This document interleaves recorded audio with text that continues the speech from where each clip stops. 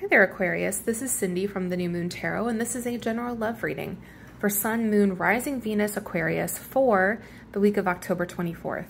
This one doesn't resonate so much, Aquarius. Go ahead and check out your natal chart and my other readings, specifically your moon, which is emotions, and Venus, which is how you show up in relationships.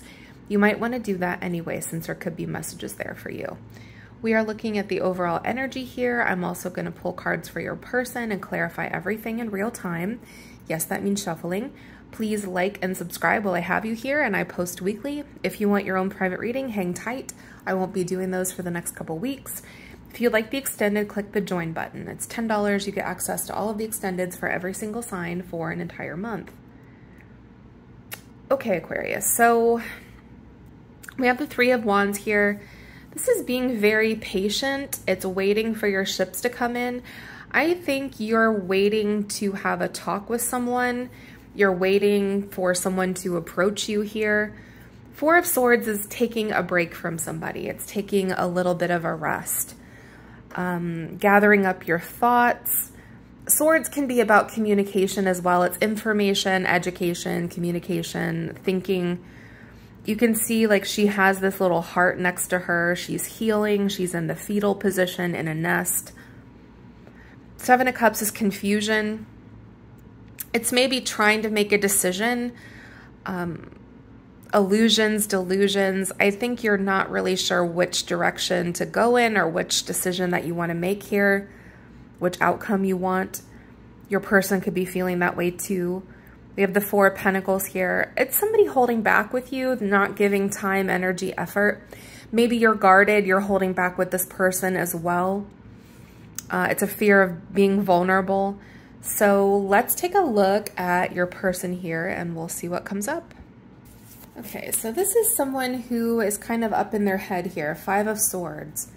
Uh, this is the Light Seers Tarot. I'm going to be using the Radiant Wise Tarot to clarify. And stay tuned to the end. I'm going to pull a card for what your person is thinking or something that they need to say as well as what their feelings are. So this Five of Swords is being up in your head. I have some inner conflict. I don't know what to do here. Maybe thinking about a past fight with you.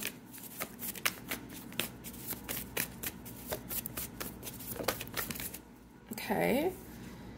And we've got the Two of Wands. This is also a decision-making card. I think this person is trying to decide where this relationship is going or where they want to go here. Additionally, with this Two of Wands, you can see the little hippie van. You can see the world um, there could be a long distance connection here. So maybe like this is about logistics, like can this relationship work long distance or one of you is moving here. Um, this could be a talk about your future or the path ahead. Sometimes the Two of Wands is choosing one path over another.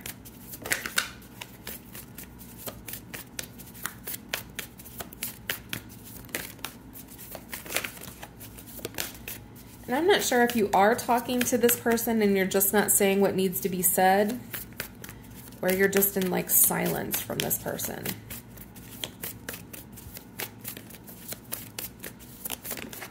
Okay, so this is clearly about the future with the Ten of Pentacles. So keep in mind that this is a a reading here, like it's a collective reading. So with this Ten of Pentacles, this is about maybe the stability in this connection, is this going anywhere? Like, i.e., quote unquote, the talk with somebody. Um, this could be about marriage or having children or moving in together or sharing like your finances with somebody. One or both of you could be married to somebody else. I just feel like there's a conversation that one or both of you have been avoiding. Yeah. Ten of Swords, doing a lot of thinking. So that can be a card about like being stabbed in the back or having a painful ending. For this particular deck, it doesn't really have that connotation for me. It's more like, you know, is this connection ending? Is it going anywhere? I'm kind of lost in thought. I'm not really sure where our next cycle is going or where this this relationship is going. I think there's a lot of confusion here. All right, so what? Huh. Ace of Swords. That's a revelation. That's information. It's someone talking to you. They're getting ready to have the talk with you. I think you're finally ready for it, probably more than ready. You need to talk about the future here. With this Ten of, of Pentacles here, I can see they're thinking about the long-term future. They think there's a possibility of a long-term future with you. All right. Okay, let's arrange this so you can see everything. What's going on with this person?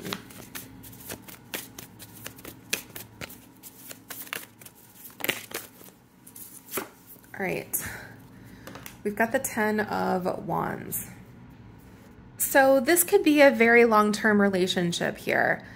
Um, you have a lot of tens, so there is a cycle ending. Aces start cycles, tens end cycles. There's a possibility of a move here like moving in together, or if it's a long distance, one of you moving closer to the other one. There's movement in this connection.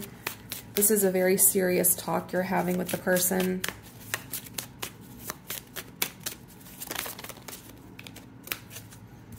Mm. Four of Swords. Taking a little bit of a break here. And then we've got that Five of Swords showing up in reverse. So you're ending the conflict Swords are, again, that communication information. They're getting ready to talk to you very seriously. We've got the Two of Swords in reverse here, and we have the Magician. Two of Swords is another decision-making card, just like that Two of Wands here. So there's decisions to be made in this connection. There's the future to talk about um, maybe some logistics about like moving in with somebody or moving across the country or moving this relationship along. That Two of Swords in reverse can mean feeling a little bit overwhelmed. Maybe they don't have all the information or they don't really see the entire situation. You can notice that that figure is blindfolded. Um, there's a lack of perception with the Seven of Cups card as well that showed up in the overall energy. And we've got the Magician here. This is major for um, Aquarius and Gemini for me, so it's one of your cards. It's also about communication here. So this is all about communication. There's a lot that needs to be said here in this connection. Let's do something that they need to say or something that they're thinking as well as a feeling card. All right, what is something that they're feeling right now for you? What are their current feelings for you?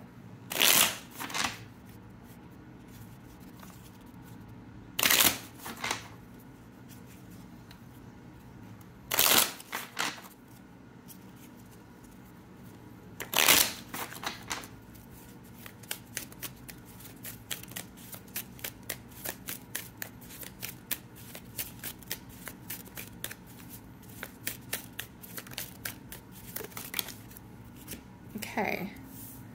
We've got the King of Swords here. That is Aquarius, Gemini, and Libra energy. This is very specifically one of your court cards. King of Swords is usually seen as being Aquarius. They may be seeing you as like the super logical person, kind of being a little bit head over heart, a little bit withdrawn, um, you know, kind of standoffish, or maybe like just being super practical about the situation. They may be kind of hesitant here, not knowing where you're standing or what you're feeling about them. And let's do something that they need to say here or something that they're thinking. Ugh.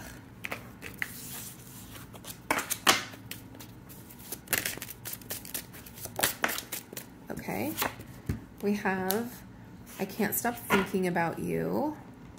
And again, I do think they're kind of up in their head here. We had the Five of Swords pop out a couple times. There's that Four of Pentacles that showed up here. Um, earlier, my cat B dumped all of these in the floor during the Scorpio reading. So I do think that they've been holding back with you. They haven't been completely honest here. We have, I love myself enough to walk away. Um, I'm not sure like if they walked away from you or you walked away from them or you're thinking like if I don't get what I'm wanting here in this connection or, you know, I'm willing to walk, maybe they're willing to walk if they're not getting what they're looking for. I can't come where I am going. Some of you, this person like really pulled away. I'm afraid to contact you. They may be very distant from you. They may have even blocked you. You've blocked them. There may have been some real bad communication here. Sometimes that Five of Swords can be really kind of negative conflict. Like you say the, you say hurtful things. Um, you deliberately try to hurt the person or you win at all costs whenever you fight with them. All right. Thank you so much for watching. I really appreciate it. Uh, I won't be taking private readings right now, but if you would like the extended, click the join button. We're going to do feelings, intentions, the advice, and the unknown. It's $10 for the month. Um, please like and subscribe and take good care of yourself and blessed be.